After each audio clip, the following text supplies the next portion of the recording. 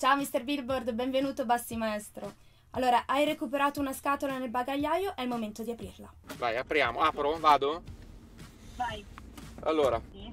adesso, adesso dovete dirmi che- dove avete trovato questo oggetto, perché cioè, Segreto. è un segreto. Ok, questo è il mio È un primo segreto. demo del eh, 1992. Furia E... solista. Furia solista, sì. È il primo demo fatto in cameretta, e fotocopiato a mano su cassetta. È stato un po' l'inizio di, tutta- di tutto il mio percorso della parte rap, diciamo, degli ultimi 25 anni di musica.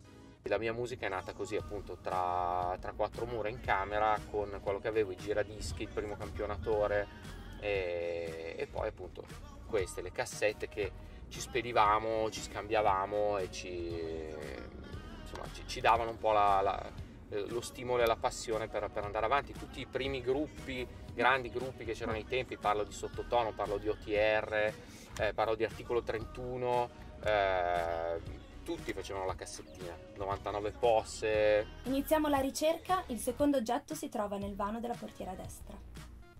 Quest- da qua. Ok. Questo qui? Questo oggetto qui, un, un microfono. Bello tra l'altro, posso, te- posso tenerlo?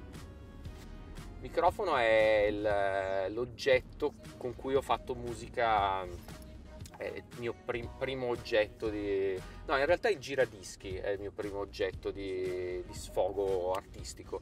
Il microfono Non ci stava non ci stava, il microfono arriva dopo eh, ed è come si diceva ai tempi è il, mio migliore amico. Lo è stato per tanti anni. Adesso ho, un po' diciamo appeso il microfono al chiodo ma lo uso ancora eh, con la musica nuova che sto facendo perché poi per fare tutte le voci col vocoder col talkbox si usa comunque il microfono. E dal vivo è uno strumento per me fondamentale nel senso che dal vivo ci sarà sempre la mia figura di MC, di intrattenitore. Prendere in mano un microfono è una grande responsabilità, secondo me. Molti lo fanno un po' alla leggera, però nel momento in cui stai dicendo qualcosa in fronte a delle persone hai comunque un, eh, una responsabilità, no? Eh, devi comunque fare una cosa, ti stai esponendo, non puoi giocare.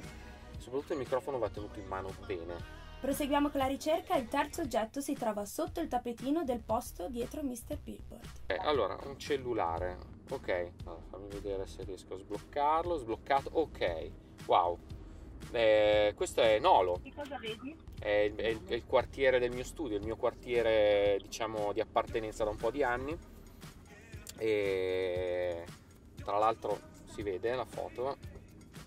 E Che cosa vediamo nella foto? Vediamo una murata che sostanzialmente appartiene ai binari. Sopra questa murata ci sono i binari del treno che arriva in stazione centrale a Milano ed è esattamente la zona dove più di dieci anni fa ho fondato, ho, ho, diciamo, trasportato il mio studio eh, muovendolo dai Navigli di Milano in questa zona che eh, era una zona un po' ehm, abbandonata a se stessa, come dico sempre, nel senso che tutto quello che ci trovate adesso in Nolo ai tempi quando sono venuto non, non c'era, è stato anche uno dei motivi per cui mi sono spinto in una zona che economicamente ai tempi per me eh, era, era- era affrontabile. Sì, Ehm, diciamo che abbandonare i navi per Nolo è stato un bel cambiamento. sta- beh, ma perché ci ho visto lungo, eh, perché io sapevo, no, in realtà, in realtà non sapevo e non immaginavo che questa zona avrebbe acquistato negli anni tutto questo, ehm, tutto questo, questo entusiasmo, questo, quest'aria di, di novità. Un'altra cosa è uscire per strada e o non incontri nessuno e quindi torni in studio a fare musica oppure hai degli stimoli e incontrare delle persone che possono essere amici o nuove- nuovi incontri ehm, in questa zona, in questo quartiere, in questo particolare momento storico sta creando per me e per tante altre persone eh, degli stimoli nuovi ed è, ed è la cosa che comunque mi ha motivato molto nell'ultimo anno nel quale ho lavorato al nuovo progetto che si chiama appunto North of Loreto. Quarto e ultimo oggetto si trova nel vano della portiera sinistra. Sinistra, arrivo. Yeah! Questo è un vinile grezzo praticamente, cioè è quello che è il vinile all'origine prima di venire pressato in fabbrica, che per me chiaramente, come dicevo prima, è, è la cosa più, più importante. Cioè i dischi sono stati la mia motivazione fin da quando ero bambino, da quando avevo 10 anni eh, ho iniziato a comprare dischi e ho iniziato a screcciare e così perché lo, insomma er- erano cose che iniziavo a capire che si facevano, che vedevo fare. Perfetto, allora Bassi, io ti aspetto nel tuo studio. Ok, prego, eh, prego comunque. Mr. Billboard, fai partire la traccia che abbiamo scelto per l'artista. Yeah.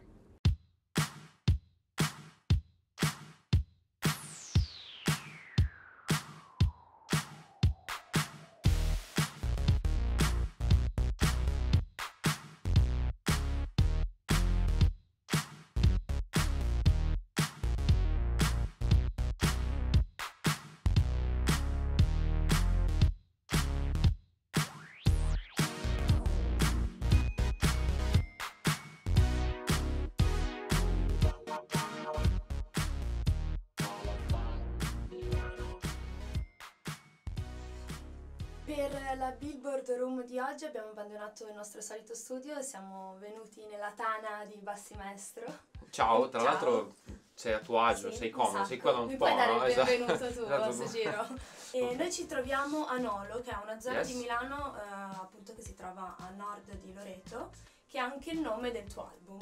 Sì, esatto, North of Loreto è una zona... Beh, io lo studio qua da un bel po' di anni, ormai sono più di dieci anni, faccio musica, registro, mixo, produco e insomma il disco è nato qua, quindi cercavo un nome che rappresentasse un po' la zona di provenienza della musica e anche che fosse anche un bel nome da- a livello internazionale, no? il classico nome in inglese che però anche in Italia capisci di cosa stiamo parlando. Quindi North of Loreto era proprio. ah, poi non l'aveva ancora usato nessuno, detto vabbè, usiamo. Sei il primo.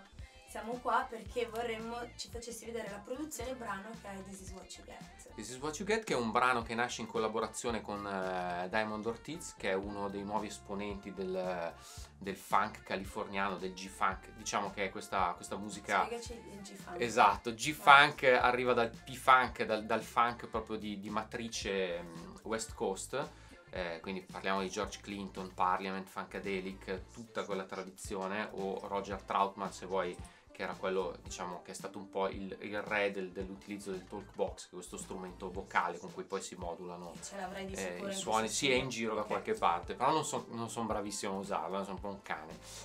Però diciamo che la passione c'è. E insomma, eh, Diamond Ortiz, tra tutti i vari esponenti di, di questa nuova scena di modern funk, è sicuramente uno di quelli più, più interessanti ed è una persona con cui chiaramente ho lavorato a distanza perché nel periodo in cui ho fatto il disco non, non riuscivo a muovermi, eh, per cui abbiamo iniziato a lavorare. Eh, io avevo questo, questo progetto su cui stavo lavorando che però era completamente diverso, nel senso che c'era l'idea della base, però ho fatto io un cantato di riferimento tutto col vocoder che però poi alla fine non c'entra niente col pezzo finito. Gli ho mandato il provino, gli è piaciuto e da lì abbiamo iniziato a costruire avanti e indietro con i Whatsapp, con i messaggi, mi mandava le prove, tutto.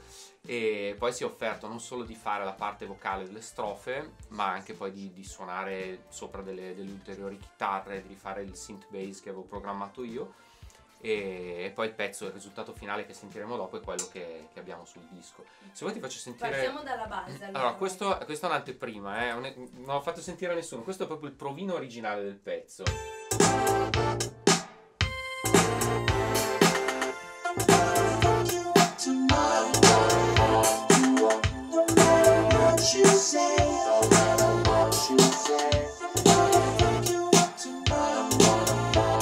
Avanti, diciamo, Ok. questo, questo- questo inglese imbarazzante che ho cantato col vocoder. È sostanzialmente molto semplice, io produco tutto con ehm, un po' col computer, un po' con le macchine che vedi qui. Eh, la batteria elettronica è una Lindrum campionata con, eh, con l'MPC, quindi questo è il groove originale. Poi ci ho aggiunto un, eh, un basso Vai, synth. Mi sposto.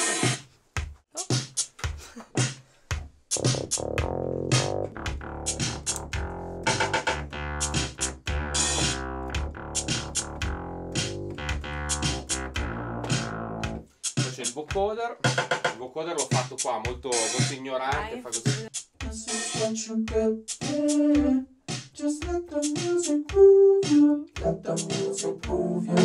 Beh, dai, non è male. Quindi, e poi ho aggiunto un po' di percussione, c'è questa batteria elettronica ignorantissima, questa Korg che ho da anni che utilizzo ogni tanto. Le hai Che- ridato un po' vita. e le ho ridato un po' vita che...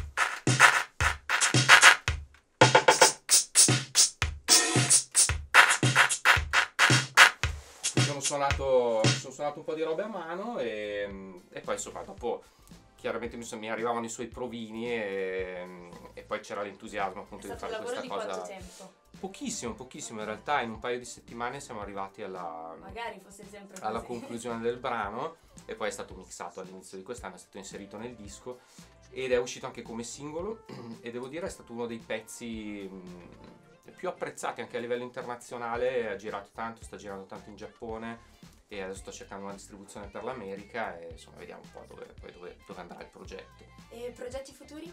Progetti futuri sto già lavorando, adesso sono usciti eh, a brevissimo, proprio a brevissimo esce il nuovo singolo estivo Ok. eh, e poi appunto... eh, Niente spoiler?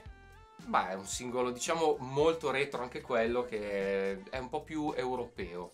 È un, è un, è un tributo alla- eh, praticamente al periodo italo disco. È una roba che volevo fare e l'ho fatto, quindi si chiama The Feeling Is Right, esce proprio tra pochissimo. Ok. E basta, cos'altro dirti? Allora ci sentiamo Sentiamoci il pezzo completo. completo, come è venuto fuori post Io resto qua con te in studio, va bene? Sì, dai, ma guarda, poi dopo, quando io vado via, tu puoi anche rimanere dai le qua. chiavi, eh, certo, bene. assolutamente, come no. Poi c'è sempre qualcuno. This is what you get.